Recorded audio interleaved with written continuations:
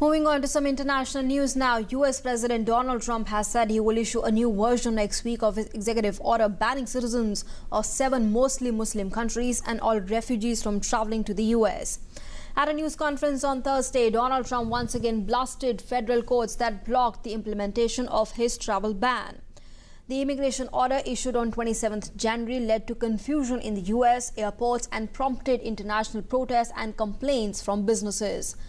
Meanwhile, the U.S. state of Texas has become the first to support Donald Trump's travel ban on travelers from seven Muslim majority nations, defending the president's controversial executive order as a move to protect America.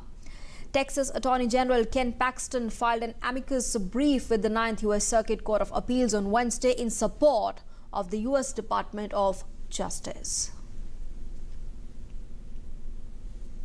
We had a very smooth rollout of the travel ban. ban. We had a bad court. We got a bad decision. We had a court that's been overturned again. May be wrong, but I think it's 80. But I think it's 80, a lot.